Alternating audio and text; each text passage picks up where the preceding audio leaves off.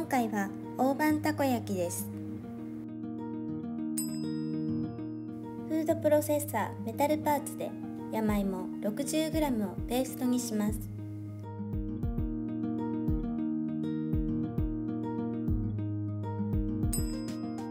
卵2個を入れます。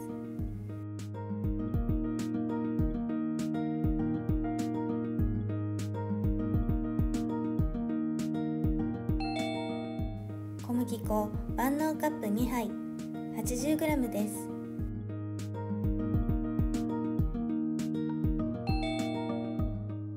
つゆの素 20cc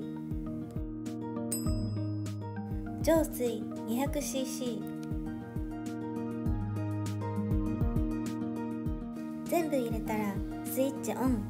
はじめは手で押さえておくと中身がこぼれにくくなります。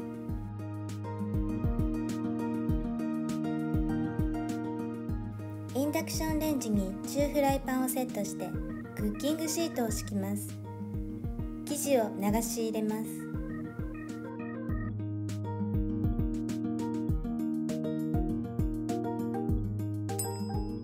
一口サイズに切ったタコと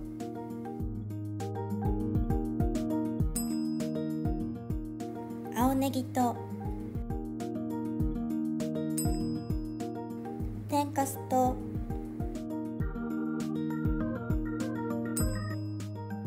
網エビを入れて。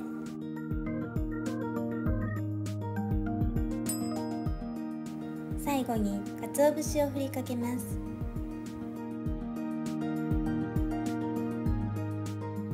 蓋を閉めてインダクションレンジプレートモード170度に設定し25分で完成です。